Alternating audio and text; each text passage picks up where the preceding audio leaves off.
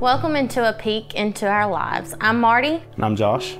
We've been together for 11 years. I've been married for seven of those. We met in college in 2009, dated all through college, got engaged in 2013. In Charlotte, um, North Carolina, which is dear to my heart because I'd always wanted to become a chef, and that's where I went to culinary school.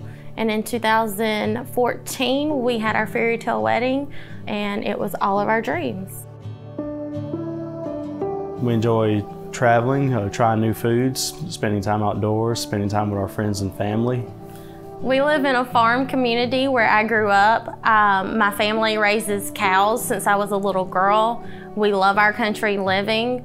We have the freedom to go on ventures and outdoor walks with our two Australian Shepherds, June and Bandit.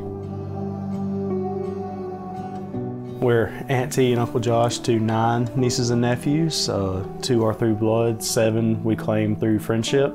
Um, we love them all dearly with all of our hearts and enjoy spending time with them. After many years of trying to conceive, in 2018 we went through the IVF process. We had one retrieval and two unsuccessful transfers. And after all of that heartbreak, we decided to change our focus to adopt.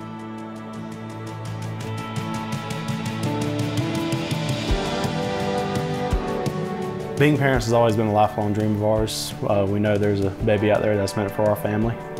We know there is a special angel out there for us, and we can't wait to see what God has in store for us.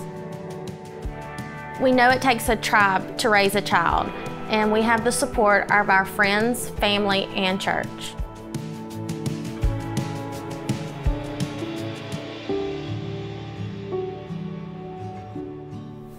It's a it's a really big decision for everybody that's involved, and you know we're just ready to be parents.